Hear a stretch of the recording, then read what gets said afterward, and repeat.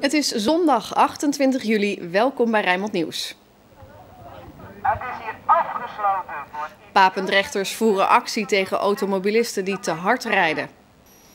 En Toys for Boys op Voorne Putten, modelvliegtuigen. Ze won vijf Edisons, werd Europe's First Lady of Jazz genoemd en speelde met alle groten der aarde, Rita Reis. De geboren Rotterdamse overleed vannacht aan de gevolgen van een hersenbloeding. Ze werd 88 jaar. There will be many other nights like this, and I'll be standing here with someone new. Rita Reis komt uit eh, Krooswijk. Ze groeide op in een eh, muzikaal gezin, tien kinderen. En eh, ja, hele hoop daarvan die zijn ook iets in de muziek gaan doen. eh eh, saxofoon gaan spelen, zingen. En, eh, was een heel muzikaal gezin. Haar vader was eh, violist, beroepsmuzikant. Moeder was danseres. En ik denk dat qua persoonlijkheid zij de enige van het gezin was ja, die echt een drive had om daar een groot podium eh, mee te vinden. You missed the best girl you ever had. There'll come a time, don't you forget it. Je zou Rita Reis kunnen zien als een, als een beetje een traditionele jazzzangeres. Generatie Ella Fitzgerald, Sarah Vaughan. Zangeressen die ja, het American Songbook eh, brachten. Ze heeft het ook wel getroffen, denk ik, met eh, de mensen met wie ze heeft samengewerkt. Die Wessel Ilke, met wie ze ooit begon. Haar man destijds, fantastische jazzdrummer. En eh, ja, Pim Jacobs, die er jarenlang heeft begeleid en met, wie ze ook getrouwd is geweest. Fantastische begeleider. Die gaf haar heel erg de ruimte. En zijn broer Ruud op bas. Ja, dat was een heel goed gezelschap, eh, trio Pim Jacobs. En eh, ja, daarmee heeft ze over de hele wereld gespeeld. En ik denk dat eh, haar bekendheid toch wel tot ver buiten de, de landsgrenzen reikte, zo gezegd. Nu is ze overleden. Is het een groot gemis voor de jazzwereld? Nou ja, ze was natuurlijk toch al een beetje iemand van het verleden. Als ze nu optrad, dan stond ze er eigenlijk al als een soort icoon van een voorbije tijd. Maar ja, nou, ze laat in ieder geval een, een, indrukwekkend oeuvre achter, want ze heeft enorm veel platen gemaakt. En daarvan, daarvan is inmiddels ook behoorlijk wat op cd verschenen. Dus we hoeven het eh, qua geluid voorlopig niet zonder Rita Reis te doen. Bewoners van de Weteringsingel in Papendrecht hebben voor de derde keer in één week tijd hun straat geblokkeerd. Ze protesteren daarmee tegen automobilisten die veel harder dan de toegestane 30 kilometer rijden. De bewoners eisen van de gemeente Papendrecht verkeersdrempels. Hey, goedemorgen, deze straat is afgesloten voor idioten die hier racen met 70 km per uur. Duidelijke taal van de bewoners aan de Weteringsingel in Papendrecht. Ik heb hier nog nooit geweest. Waarom? Ik Er werd mij van de week al gevraagd, zijn het dan hoofdzakelijk eh, jongelui eh, met opgevoerde golfjes hè, die zoiets presteren? Maar dat is niet zo. Het is eh, alle, alle soorten en maten, zeg maar, houden zich totaal niet aan die snelheid van 30 km per uur. Aan het eind van de ochtend wordt een barricade opgeworpen. Niks met de zondagsrust in Papendrecht te maken.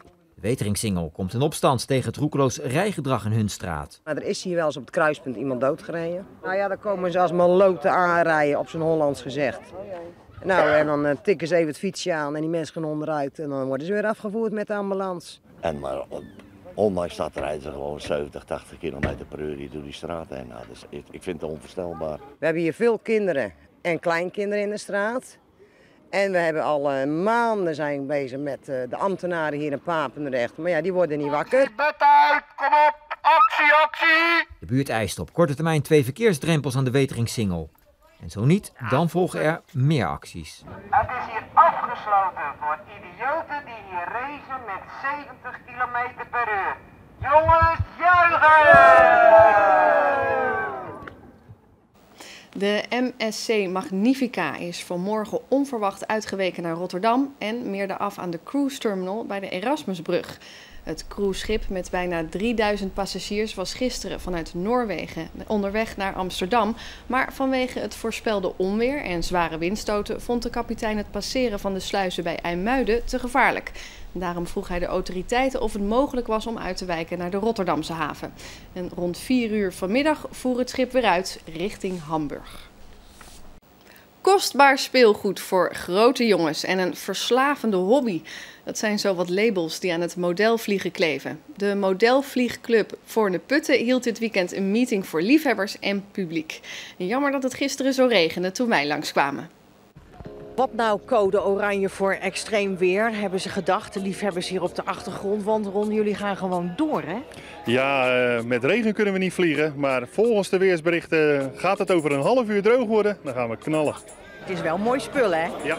En uit al die modellen die je kunt bouwen, heb jij deze gekozen. Want wat is de aantrekkingskracht voor jou?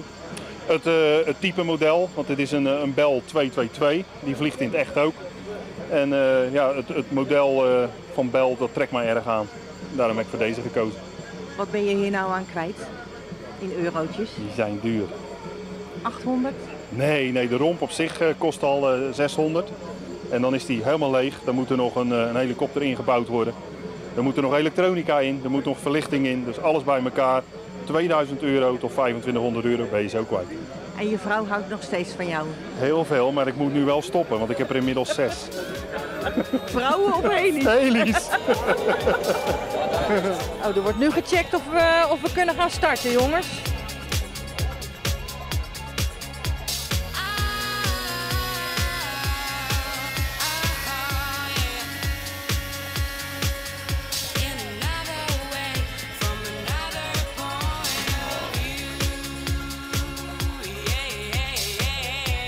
Vertel eventjes eh, het geheim van wat je nu aan het doen bent. Want jij bent een van de betere vliegers, heb ik gehoord. Nou ja, het is gewoon, je moet gewoon heel rustig blijven. Dat is gewoon, de- dat is gewoon eigenlijk gewoon de truc. Als je gewoon rustig blijft, dan blijft de hele vanzelf ook rustig. Nee, het is gewoon rust bewaren. Dan blijft het allemaal een beetje helder ook bovenin het hoofd. en dat is wel belangrijk. En als je heel nerveus bent, dan ga je dingen gaan doen die, die, niet, eh, die je niet wil doen.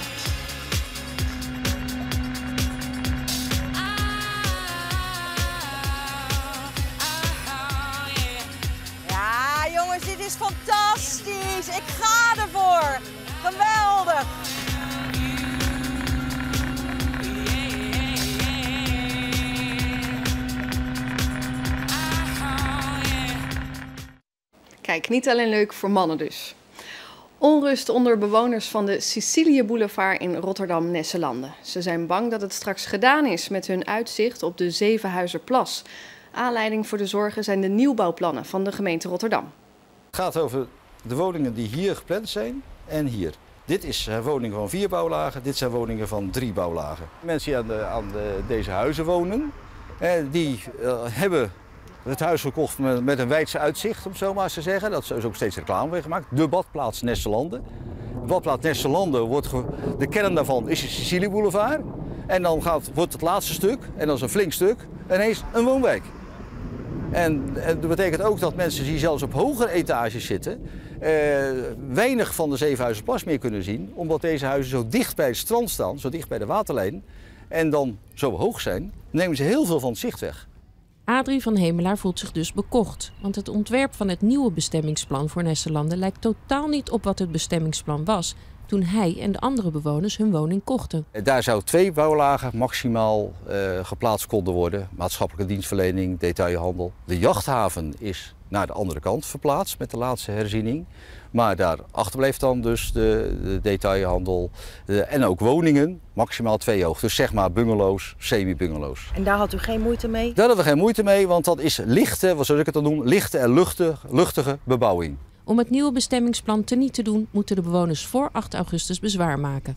Van Hemelaar verspreidde daarom onder 100 bewoners een oproep om gebruik te maken van de door hem geschreven voorbeeldbezwaarbrief. Tussen de 10 en 20 bewoners reageerden daar positief op. Toch hoopt Van Hemelaar op meer bezwaarschriften. Er zijn ook een heleboel mensen ook met, met vakantie. Eh, het is heel merkwaardig dat de ter, ter inzagetermijn precies in de vakantietijd valt. Eh, en mensen die niet nog gereageerd hebben, die zijn waarschijnlijk in staat om zelf een brief eh, te schrijven. En, eh, dus ik hoop dat er 100, tenminste 100 reacties bij de gemeente terechtkomen. En dan maar weer terug naar het oude bestemmingsplan, zodat het uitzicht op de plas behouden blijft. De gemeente laat in een reactie weten dat er volgens het bestemmingsplan wel tot maximaal vier hoog mag worden gebouwd, maar dat er voorlopig geen bouwplannen zijn. Krijgt u tot slot nog het weer voor mij. Morgen zijn er flinke zonnige perioden en het blijft op de meeste plaatsen droog. Bij een matige aan zee af en toe krachtige wind uit het zuidwesten wordt het 23 graden. En dit was Rijnmond Nieuws. Meer nieuws op onze website rijnmond.nl. Nog een fijne dag verder.